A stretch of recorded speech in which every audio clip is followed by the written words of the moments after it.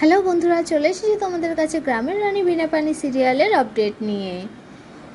সিরিয়ালে বিনা পানি তার বাড়ির লোককে বোঝায় এবং বলে, তার মনের দুঃখ চেপে রেখে, চোখের জল চেপে রেখে সে বলে তাদেরকে চলে যেতে।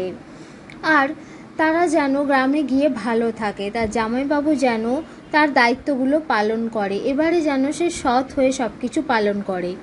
জামাইবাবু মনে মনে ভাবে, সৎ হয়ে কি আর সব কিছু পাওয়া যায় রে আজকালকার দিনে বিনা? না না। হ্যাঁ কাজ তো আমি সে করবই, কিন্তু নিজের পকেটটা আমি ঠিকই ভরবো। ওটাতে আমি পিছু পা হতে পারব না। অত ভালো মানুষই আজকালকার দিনে চলে না। এটা সে মনে মনে করতে থাকে। তখনই বিনার দিদি তার জামাইবাবুকে বলে, কি গো, বিনা কি বলছে? তুমি তার উত্তরটা দাও। পারবে তো গ্রামে গিয়ে ওর সব কাজ সামলাতে, মায়ের দায়িত্ব নিতে?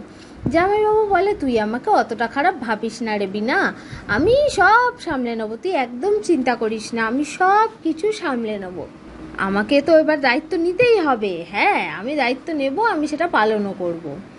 তারপরেই বিনার বোন বলে, এ দিদি, আজকে তোকে পার্লার থেকে সাজাতে আসবে, তাই না রে? কত সুন্দর সাজাবে তোকে। কত দামি দামি মেকআপ দিয়ে সাজাবে তোকে। আমরা তো দেখতেই পারব না। ফটো পাঠাস কিন্তু। বিনা চোখের জল আর ধরে রাখতে পারে না। বলে হ্যাঁ তোদেরকে ফটো নিশ্চয়ই পাঠাবো। তোরা তো আর থাকতে পারবি না। আমি ঠিক তোদেরকে ফটো পাঠাবো। তুই চিন্তা করিস না রে। তোমরা সবাই ভালো থেকো, এবারে তোমরা বেরিয়ে পড়ো, আর দেরি করতে হবে না। বিনাকেও তার বাড়ির লোকজন বলে, এবার যাওয়ার জন্য তাকেও তো তৈরি হতে হবে। আজকে তার অনেক বড় একটা দিন। এরপর বিনাকে সুন্দর সাজে সজ্জিত করা হয়। বউ ভাতের সাজে সে রেডি হয়ে যায়। তখনই বিনা শাশুড়ি তাকে বলে, এ কি বিনা, তোমার বাড়ির লোকজনকে দেখছি না, তারা কোথায়?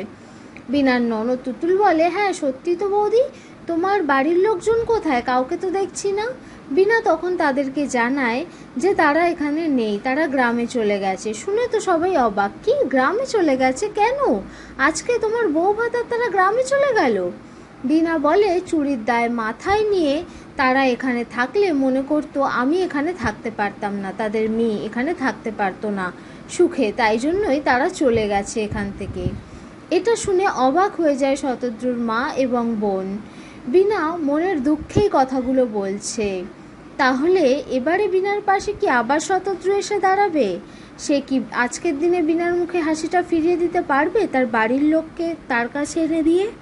দেখতে থাকুন পরবর্তী আপডেটের জন্য আমার চ্যানেলকে লাইক, কমেন্ট, শেয়ার এবং সাবস্ক্রাইব করুন।